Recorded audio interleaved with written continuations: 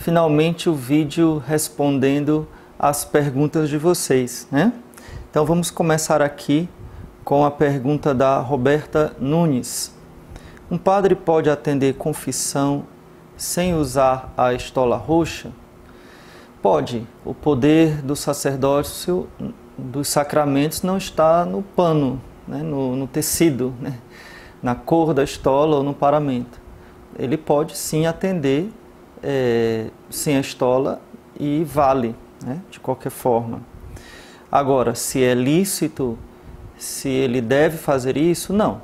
Normalmente ele deve estar pelo menos com a estola roxa. Né? É o mínimo para mostrar é, o sinal do sacramento. Agora, numa emergência, é, o padre está sem a estola, não vai deixar de dar absolvição, confessar, é, atender a confissão da pessoa, por causa de um detalhe. Né? Uma outra pergunta interessante do Francisco Sidrac.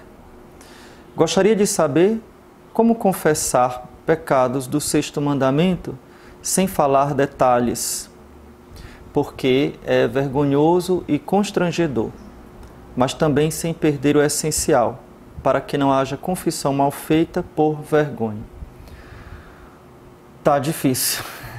Realmente, você não precisa descer em detalhes minuciosos. Aliás, você nem deve descer em detalhes minuciosos. Ah, tal hora fiz tal coisa, enfim. É, porém, você precisa dizer exatamente qual é o pecado. Vou dar um exemplo. Você não pode dizer eu pequei contra a castidade, porque isso vai desde um mau pensamento a um estupro. Então fica complicado. Né? Você, o que é que você fez de fato? Então você pode usar algumas palavras que amenizam um pouco. Né? Vou dar um exemplo aqui.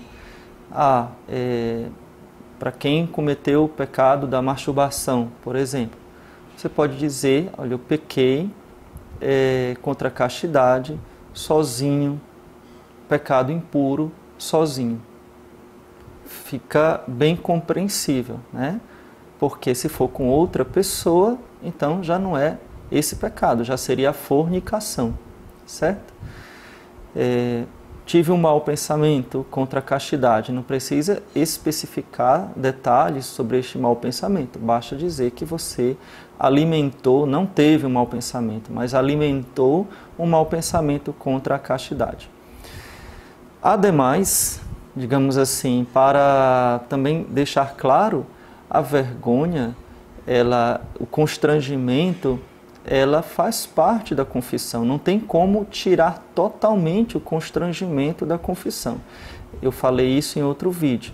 Ela é até mesmo uma forma de penitência que a igreja aceita como também sinal de arrependimento. Uma outra pergunta muito interessante aqui do Josi Clayton. O que devemos fazer quando, mesmo que confessamos com frequência e piedade, percebemos que os nossos pecados estão sendo os mesmos de sempre e não estamos progredindo? Eu teria dois conselhos. A primeira coisa é não desanimar, não desistir. Uma das artimanhas do demônio é fazer a gente desistir ou desanimar por causa da recorrência dos pecados. Uma segunda coisa que você pode fazer é mudar talvez a tática, né? É, talvez a sua luta contra o pecado não está sendo muito eficaz. Então é interessante mudar. O que é que eu posso fazer? Será que eu devo mudar a penitência? Será que eu devo intensificar a minha oração? Será que eu devo fugir das ocasiões? porque a maior raiz, ou a raiz mais profunda dos pecados recorrentes são as ocasiões. Então eu não fujo das ocasiões e quero só com confissão me livrar do pecado. Não dá. Né? Se você se coloca em risco de pecado, você já está pecando por causa disso.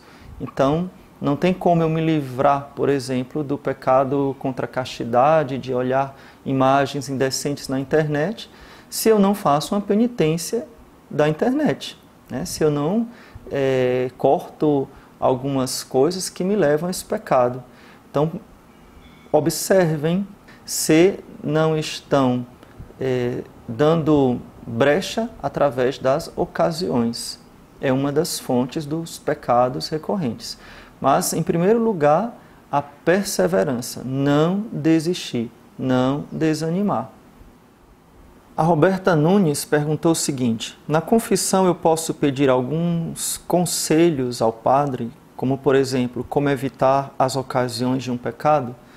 Bom, claro que pode, né? A confissão também é para isso. É, agora, precisamos usar o bom senso. Digamos que você vai confessar, tem uma fila de 50 pessoas, o padre só tem uma hora para confessar e você vai ficar pedindo conselhos na confissão então não é adequado. Então, se você vê que não tem gente na fila ou só tem poucas pessoas e dá para você perguntar, então é bom que pergunte. Agora, uma coisa que você deve perguntar sempre é se você tem alguma dúvida a respeito do pecado. Então, ah, eu não sei, padre, se isso é pecado. É, então, pergunte. Né? É, se for uma coisa bem objetiva, mas pedir conselhos, ou se você vê que não vai atrapalhar a fila da confissão, ou em um outro momento mais adequado. O Lázaro perguntou: quando um pecado venial se torna mortal? Então eu tenho um vídeo aqui, vou colocar o card aqui, sobre esse assunto, mas assim, resumidamente, é, um pecado venial se torna mortal dependendo da matéria, né? dependendo da consciência e dependendo da vontade deliberada do sujeito que comete o pecado. Uma outra pergunta da Roberta.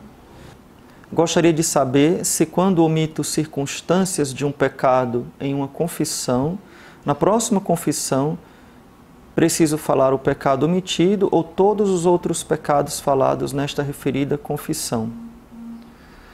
Olha, as circunstâncias são obrigatórias apenas nos pecados mortais, nos pecados graves, né? Então, eu diria que se não foi de propósito, né, por falta de conhecimento, por esquecimento, é bom que você repita o pecado, no caso, ah, aquele pecado que eu é, esqueci de confessar esse detalhe, você repete o pecado, apenas aquele pecado e a, o detalhe, a circunstância, para fazer uma confissão mais bem feita. Ou seja, não precisa repetir toda a confissão anterior, certo? Apenas para haver uma contrição mais perfeita, você confessa aquele pecado que você omitiu, as circunstâncias e as circunstâncias que você omitiu. Então, espero que eu tenha ajudado. Tem outras perguntas aqui, eu vou deixar para os próximos vídeos. Algumas eu já respondi por escrito. Então, peço que você coloque aqui nos comentários, que você não esqueça de deixar sua curtida e compartilhar com seus amigos. Louvado seja nosso Senhor Jesus Cristo. Para sempre seja louvado. Deus te abençoe.